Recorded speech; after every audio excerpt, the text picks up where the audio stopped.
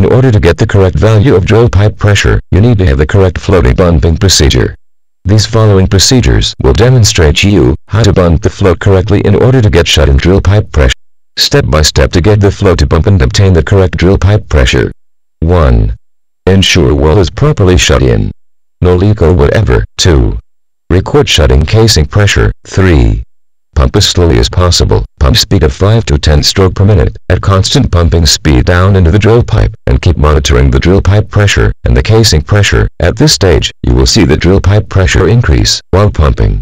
At this stage, you need to monitor carefully for a lull in the drill pipe pressure, which will occur when the float is opened.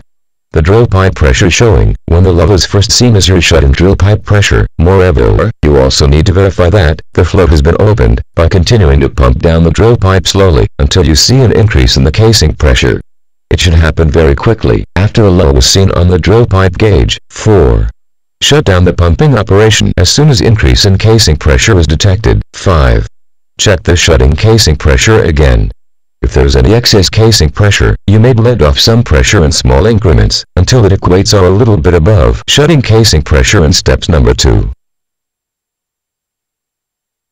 If you are interested in drilling formulas and oil field knowledge, please visit www.drillingformulas.com.